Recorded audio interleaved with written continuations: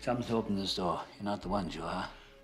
I'm not the one? No. I'm not the one who cut your medication?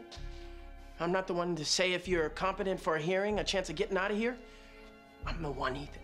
Are you?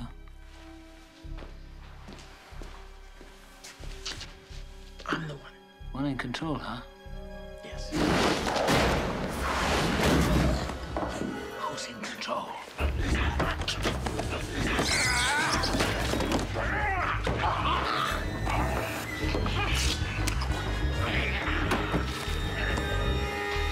So who is in control? Huh? Are you? Am I? Guards outside? The warden in his office? Yeah? Who's in control?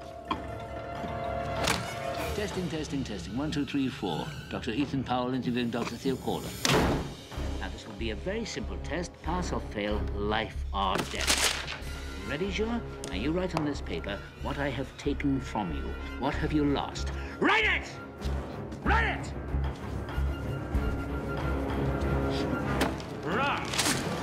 Had control. You only thought you had it. An illusion, tabby bourgeois.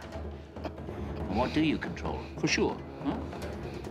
The volume in your stereo, the air conditioning in your car? What else? What else? All right. Another chance. You were nervous. Too much pressure. Try again. What have you lost? What did I take? Write it. Write it!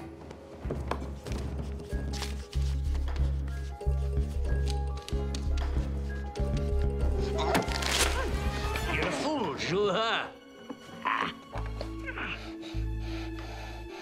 Do you think you were free? Where were you going at 2 o'clock today? Into the gym, right? In the morning, your wake-up call.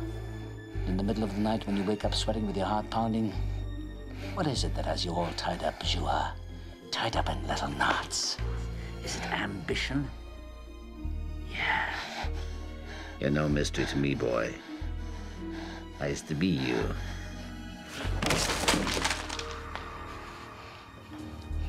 Okay. One last chance. You think I won't do it? That's one psychiatrist less to the world. I'm already deep in the pit. So what can they do to me? Last try. Get it right. What have you lost? What did I take from you? Write it.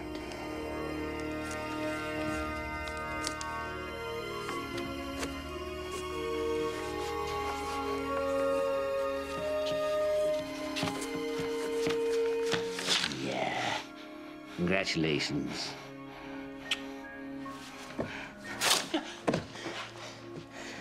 You're a student after all.